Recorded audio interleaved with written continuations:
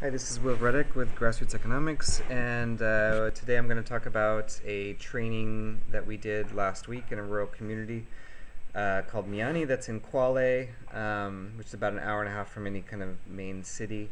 Um, this is sort of a village center where they're selling shrimp that they the local fishermen get, and that's a water tank uh, getting runoff. Um, Sarafu is the name that we've kind of used as the generic uh, sort of aid-based currency that we've developed, a community inclusion currency. These guys have a lot of projects they're doing, like uh, uh, chicken farming, um, tree planting. They're doing some construction around the area too for more community centers. Um, and they have a, a, maize mill inside this building right here. And they've gotten support from uh, various organizations like Red Cross and Green World Campaign over the years.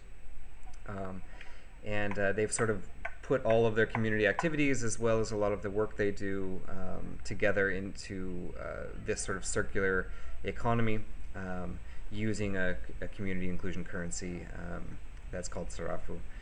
Now, this training is about taking that community currency that they've had for quite some time, pulling out the um, the reserve behind it, and putting it into their own currency um, and coming up with the rules on how that would work, how would they distribute out it out to people, and so these are all um, various kind of community members and leaders from different uh, organizations or uh, community-based um, organizations or uh, tabletop banks within the area. Um, and so the first exercises they're going to do is go through and look at what are the resources in their community. They're going to look at what are the uh, the things that they buy and sell on sort of a daily, weekly basis, um, and then also look at which are local and non-local.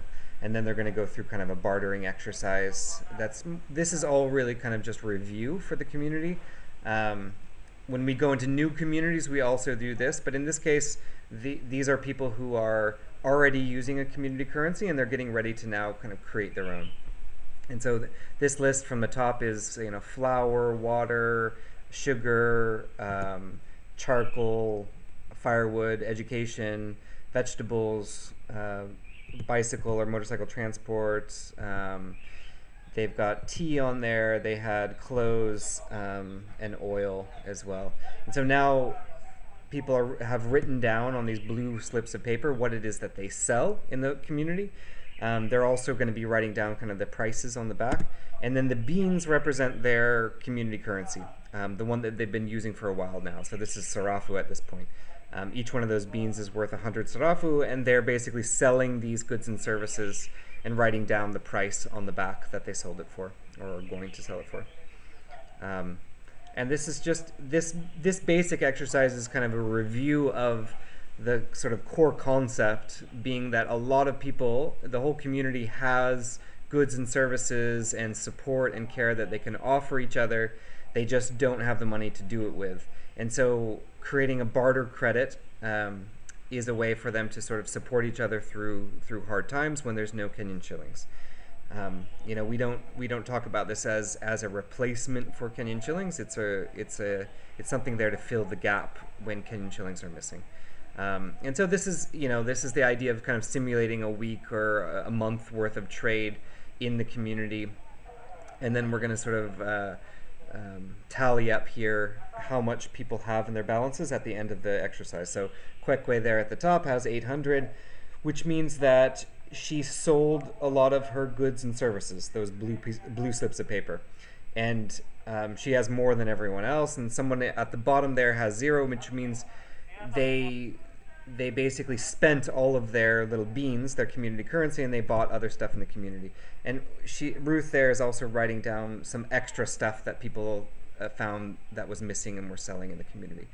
So that exercise, that previous one, was basically just to give them an idea of a mapping of the resources in the community and talk about basic trade of the Sarafu, which they already do. And it sort of opens up the door to talk about questions like why are they only getting 400 um, why can't they make their own? What would that look like if they were to make their own? And so it's just it, it's sort of a warm-up exercise. Now this next part is basically the groups going through and having that discussion on what it would mean to sort of create their own community currency how much would they create what is sort of the backing behind it Um, and so there's two kinds of backing that they're talking about. One is um, um, commitments of goods and services, and another is also some collateral. And so that's going to be like the sarafu itself. Uh, the, the, the money behind the sarafu or the assets behind the sarafu get added into this collateral. Um, that previous board, they're also looking at when they distribute it, um, when they actually create their own token, how does it get divided up uh, among the people who are contributing as well as into the community? And so this, this board here right now is basically um, a commitment from the community group um, to basically say that for every token that's being created, there's some backing here in terms of goods and services behind it. So each one of these people is basically saying, I'm willing to put my flour behind this, so I will accept it for a certain amount um, of my flour. And everyone's also putting in some sarafu into this as well. So in a way, there's a commitment in this column here um, it, to accepting it in the future, the, the new token that they're creating. And there's another column here, which is um, them putting in some uh, asset as a collateral um, for that. And then what's going to happen is that every every uh, for every uh, amount of these commitments, that's how many tokens get created. So this 200, 200 here is basically that half go to the person doing the commitments and half goes to the community.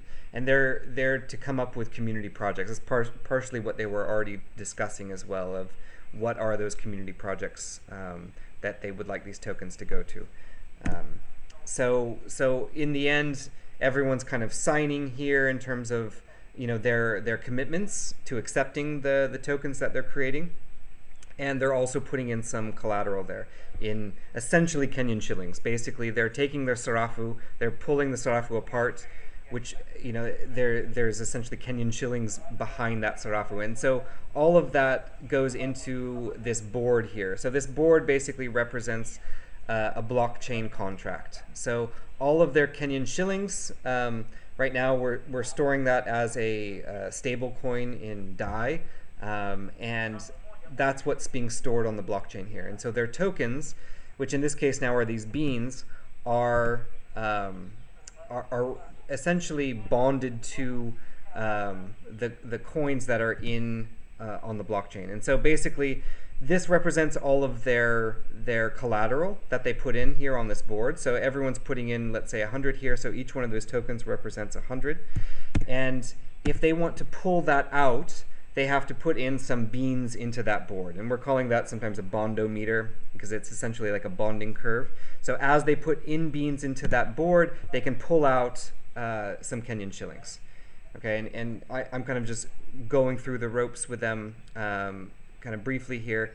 And then they're all kind of practicing this idea. So, so at this point now, they've pulled out all of their um, their collateral, and they're also able to add Kenyan shillings back into this um, to mint additional uh, CICs or additional tokens. And and so now they're going to do the same exercise they did before. Um, the difference being that they can basically cash in or cash out using that bonding curve there. And so someone is going to be sitting there kind of watching that uh, bonding curve. Um, this woman um, here on the bottom right, also, she was given the role of only accepting Kenyan shillings for her products. These are sort of imported products. I, I believe she was selling clothes. And, and so people can come in here and exchange their beans. The, the more that they pull out of this, the more Kenyan shillings they pull out of it, the more it costs to pull out from it right? So there's sort of diminishing returns. So if for every 100 you pull out here, you have to add a bit more beans as you go down this board here. Um, and so there's an incentive um, to basically say, let me buy something locally rather than pulling out from uh, our collateral. And vice versa, there's a potential incentive to add more collateral there once the, the, the price has dropped fairly low on, on that board. But then uh, remember, all of these people are also still buying and selling or, or selling their goods and services with some commitment as well. And so that keeps it back up. This, the, this last woman that was being shown here in blue, she was also um, doing the community project stuff. So she got a lot of the tokens for the community projects and she's selling or paying people for labor in the community. Um, and one of those community projects is also doing loans. So this is something that they is very common in these groups that they're giving out loans in the community currency, um, and and generally their people are paying fines or interests. Uh, to pay back those loans, but that goes into their own personal account as well. So it's not sort of extractive uh, lending in that case. And this is basically um, uh, the group just tallying up how many tokens do they have at, at the end of this, how many Kenyan shillings do they have, and how much community work has been done. And so, you know, in some ways, like the, the amount of community work done is, um, uh, you know, one of our metrics in terms of, you know, what, what's working really well in these currencies in the end. Um, and and the amount of tokens they have, it's still the same sort of issue of like, are they balancing themselves out? You know, this person, this was the person who was only accepting Kenyan shillings. You know, other people they got their Kenyan shillings, and and they were going sort of in and out of uh, the bonding curve. Um, and so that's that. This is basically to give people sort of a gut feeling of what it's like to use a bonding curve. Um, and what kind of commitments need to be put in place to sort of hatch that uh, system to, to start it out. So this this is sort of representing a document now that what, what's going to happen after this training is that all of these guys are going to go back to their groups. There'll be additional follow-up training in their in their individual communities. This was sort of a mixture of several communities. Um, and they're going to come up with essentially like a constitution or bylaws for their existing constitutions that they already have as groups and they're gonna so Gino La token they're gonna come up with a name for that token. They're gonna come up with various goals for that token, Malengo. they're gonna come up with miradis, which are like projects related to those tokens. So basically, you know, how much money do people get for doing community service work or helping the elderly? They're also going to assign maybe a few people to manage those funds. Um, they're going to come up with this this uh, bonding board here. So this is their name, the products they sell. This is their commitments, how much of those products they're willing to sell over a time period in the local currency that they're creating. Um, this is the mana is their collateral. So this will be basically how much sarafu they're putting into this. That's our kind of bootstrapping token. Um, this is how much CIC they're going to get back. Um, and this is going to be how much goes into the community projects these these projects. So the amount they get back in the community projects this will be equal to um, how much they're committing and the collateral has to be a quarter of that um, as well. So if there's 400 here in terms of CIC being created for them and the community that means there's 400 in commitments and there's a hundred sarafu worth of collateral and that sarafu we're replacing with um, the the Dai. So essentially, this is this is market value to, to Kenyan shillings here. Um, finally, they're they're coming up with like, yeah, this is who is standing for the different projects, who manages this these funds down here. Um, and then this is also this is going to be basically how are disputes mitigated. So if some people are not accepting it anymore for their goods and services, um, is that can the chief come in here? So there's some signing in terms of uh, who's going to be regulating or who's going to be uh, uh, arbitrating disputes. Um, and so that's basically it in a nutshell. They're going to go back to their communities. They're going to come up with with uh, these bylaws on how they're going to create their token. How are they going to distribute it? How are they going to back it? Um, we do some auditing process with that to make sure you know within the community. Also, like we get the chief to help um, see that their commitments are real. Like if someone is saying that they're putting in 10,000 shillings of goats, do they actually have goats?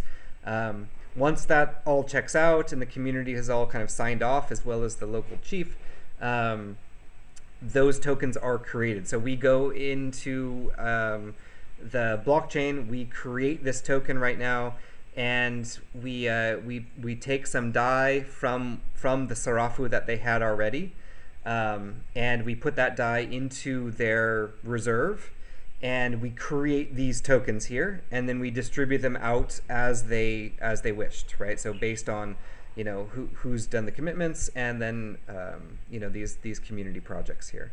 Um, and that's basically it. The the community then can start trading. They can also now cash out by basically they send their community currency um, to a special account that account uh, basically records that, pulls out the the Dai that's behind their community currency and turns that into Kenyan shillings in the form of e-money, uh, so like M-Pesa, and M-Pesa goes back to the user, and vice versa. M-Pesa can go into that account, it'll get converted into DAI, and then more tokens will be created and then given uh, to whoever put that DAI in.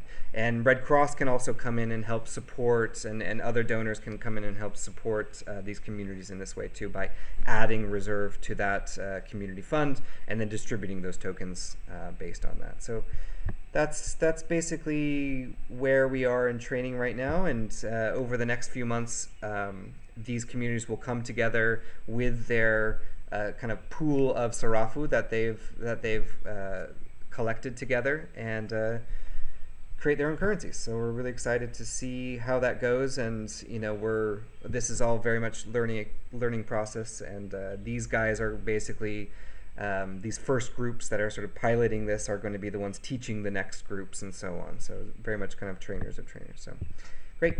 Have a good one. Bye.